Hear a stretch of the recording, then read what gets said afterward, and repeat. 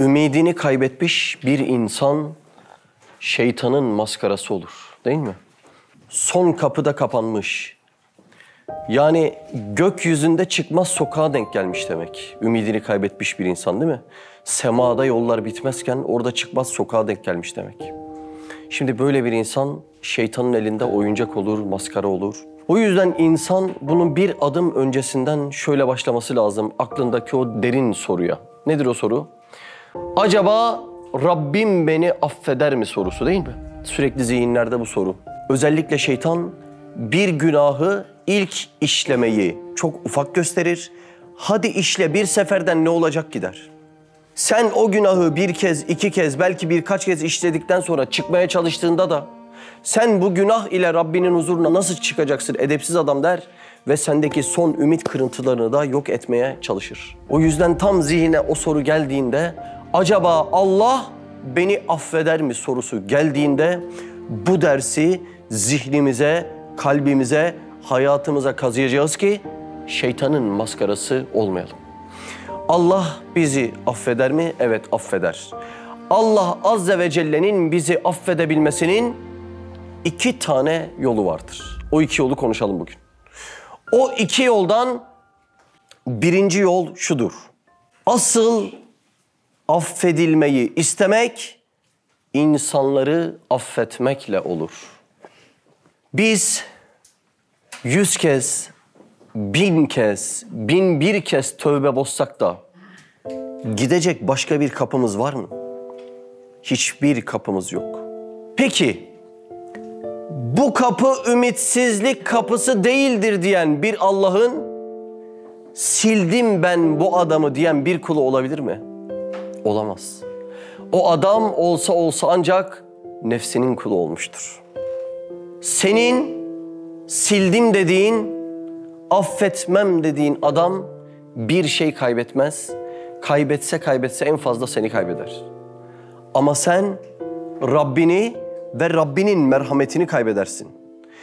Demek ki affedilmeyi bekleyen insanların ilk yapması gereken prensip asıl affedilmeyi istemek, başkalarını affetmekle olacak iştir. Bu yüzden Üstad Hazretleri en merkezde yaptığımız bu hataya binaen bir paragraf, bir cümle söylemektedir.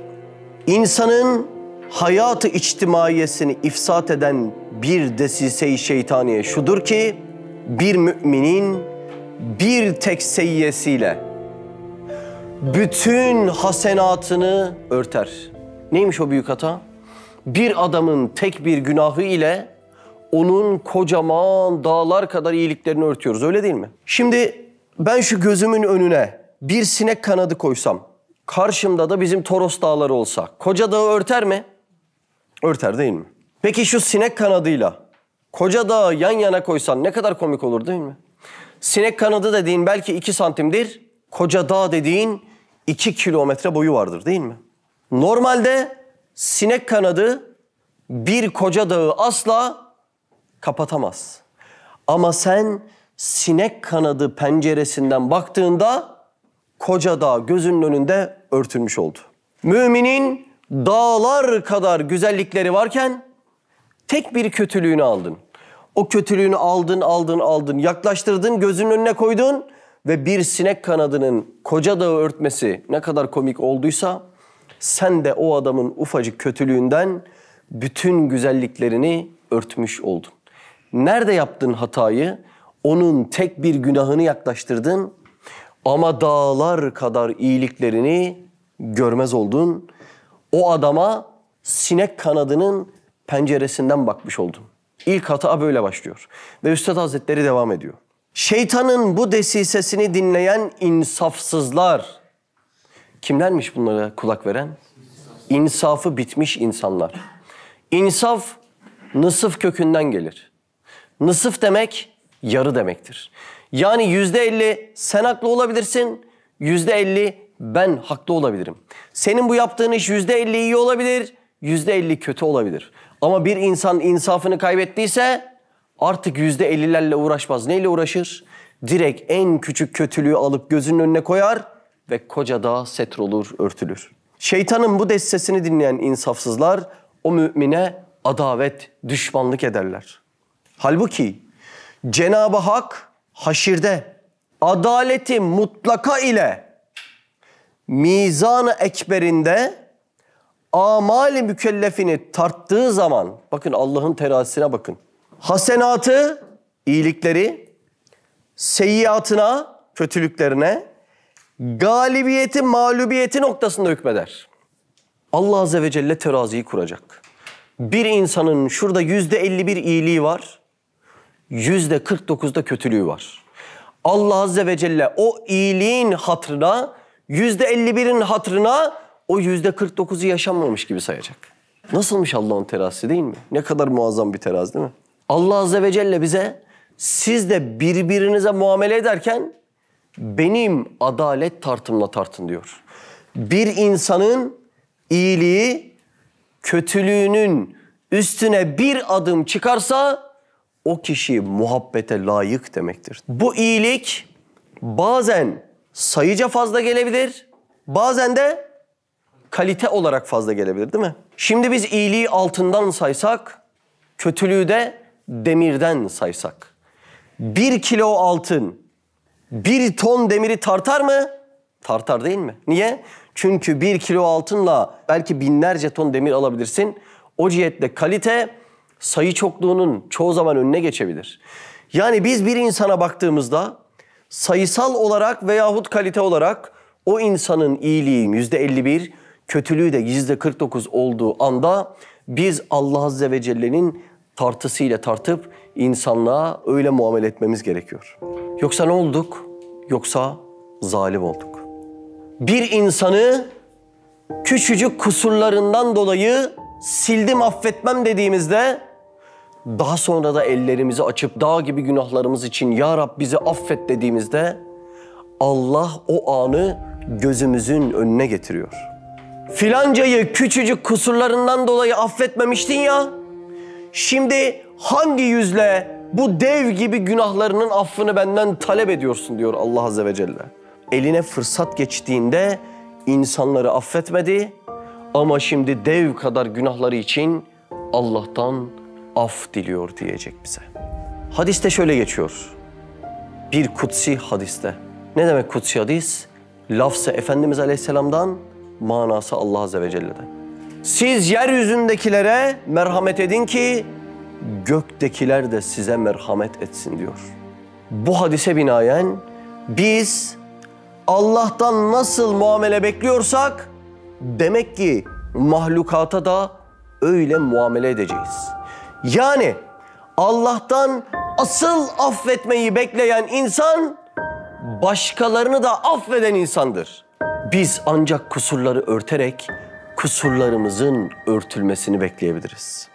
Sen ayıpları araştır, insanların yüzüne vur, teberrüç et, nemmamlık et, laf taşı, gıybet et, kardeşinin etini ye, sonra elini açıp Allah'ım beni affet de. Sen mahlukatı affettin mi ki Allah'tan o an af talep edebiliyorsun. Allah Azze ve Celle bize fırsat verdi ve bizim o anki tavrımızı ölçtü.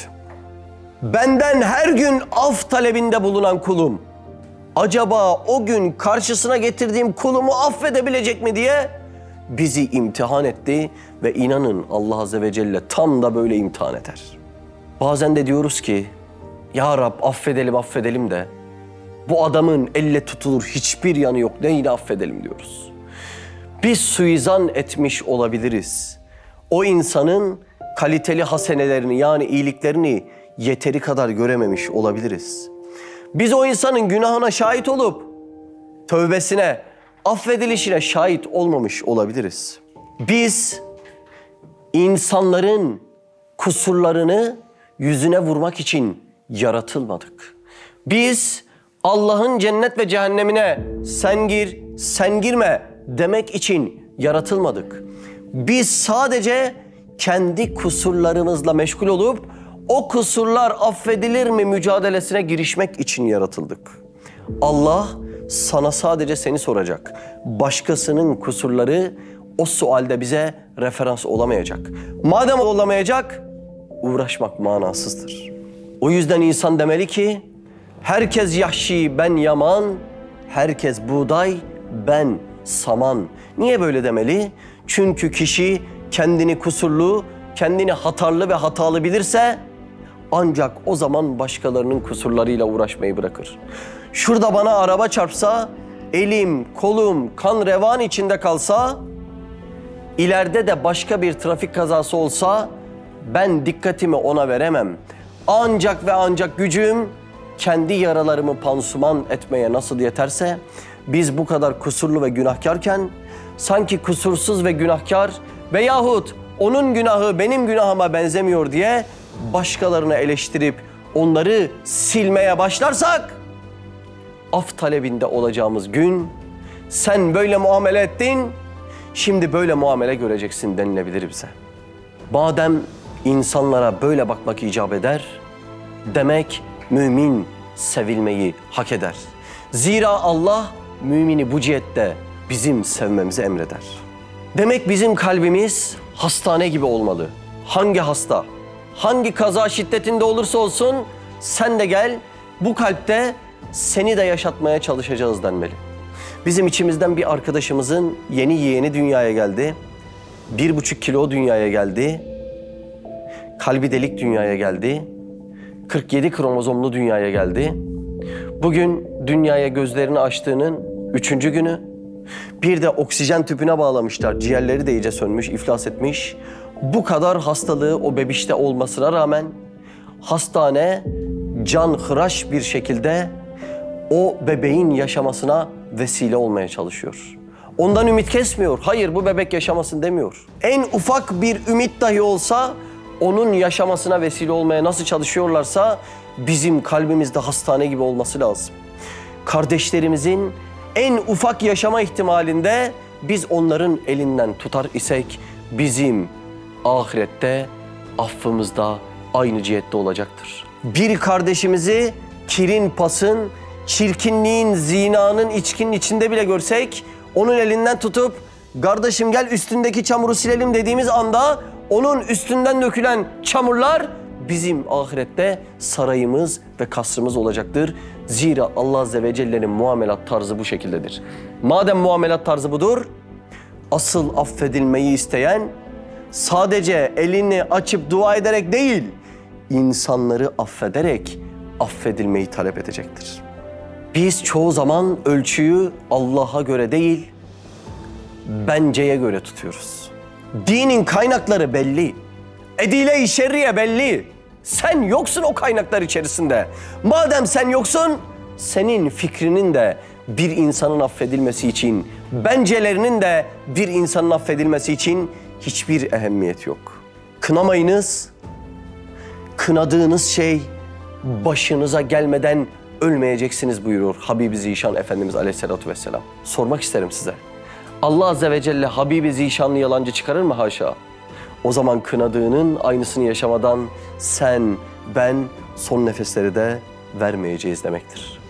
Rabbim beni affeder mi'nin birinci cevabı tam buralarda saklı işte. Affeder ama sen affedersen affeder. Affeder ama sen başkalarını kıramazsan affeder. Sen af deyince benim kullarımın kusurlarını nasıl örttün? Şimdi de senin kusurlarının örtülme günüdür der, seni öyle affeder. Sana nasıl muamele edilmesini istiyorsan sen de insanlara öyle muamele edeceksin. Gelelim mi ikinci maddeye? Ne yaparsan yap ama ümidini kesme. Her şeyi yap. Aklınıza gelen hangi günahlar var? Tamam onları da yapsın. Ama ne yaparsa yapsın sakın ümidini kesmesin. İnsanlar ben bu işleri yaptığımda Allah Azze ve Celle beni bir daha nasıl affeder diye vesveseye düşüyor değil mi? Bir ufak örnek verelim. İntihar eden birisi Allah Azze ve Celle'nin affetmesinin neredeyse sıfır ihtimal olduğu bir günaha neden düşüyor? İntihar neden bu kadar şiddetli bir günahtır? Sebebi belli. Çünkü intihar demek Allah'tan ümit kesmek demektir. Bir günah işlemekten daha şiddetlisi onun affedilmesine ümidini kesmektir. Sonsuzluğa karşı sen beni nasıl affedebilirsin bu saatten sonra diyebilmek Allah'ı en küçük haşa dar kalıba sokmak demektir. Hayal edin çok büyük bir suç işleseniz, cürüm işleseniz hem de o suçu annenize karşı işleseniz. Annenizi üsseniz, kırsanız, dökseniz. Daha sonra dönüp ananızın yanına varsanız. Desen ana affet. Affet çok pişmanım ana deseniz. Affeder mi affetmez mi? Affeder değil mi? Allah'ı da annen kadar tanısaydın seni affedeceğinden hiç şüphe duymazdın. Annelerin sinesine o şefkati veren haşa bir anne kadar da mı affetmez? Kural belli. O sinelere o şefkati veren okyanus misali şefkatten asla ümidini kesmeyeceksin. Bazen de diyoruz ki iyi de ben kendimi affedemiyorum. Ona cevaben deriz ki iyi de sen kendini affedemediğin için zaten affa müstahak olacaksın ya inşallah.